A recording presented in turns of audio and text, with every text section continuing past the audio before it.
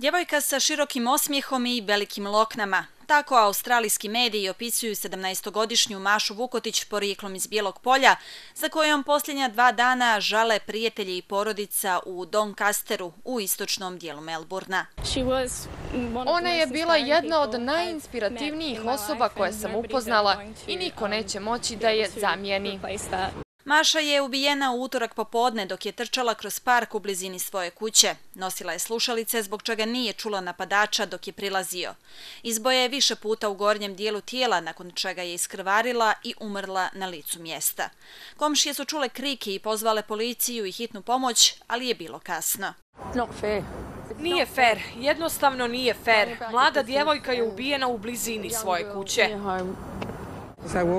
Ja stalno šetam kroz taj park. Mislim da sada moraju tamo da postave mnogo više kamera i svjetiljki.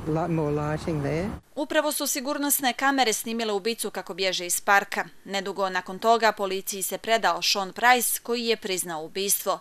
Price inače ima debeo dosije, a već je bio u zatvoru zbog silovanja i drugih napada. Neki mediji prenose da ima i psihičkih problema. U policijskoj stanici se navodno smijao i pokazivao srednji prst. Australija je zgrožena svirepim ubistvom, povodom kojeg se oglasio i premijer Savezne države Viktorija, u koju se Maša iz Bijelog polja preselila sa porodicom. Ovo je užasno tužan slučaj koji uopšte nema smisla.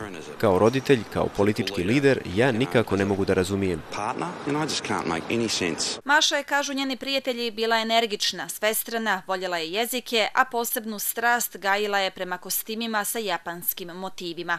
Bila je učenica sa djevojačkog koleđa Canterbury i uskoro je trebalo da polaže maturu. Ovo je veliki šok za sve u školi. Maša je bila divna djevojka. Maša je u Doncasteru živjela sa majkom Natašom, ocem Slavoljubom, sestrom Nađom i starijim bratom Petrom. Istraga bi trebalo da pokaže da li je bila žrtva planiranog ili nasumičnog napada.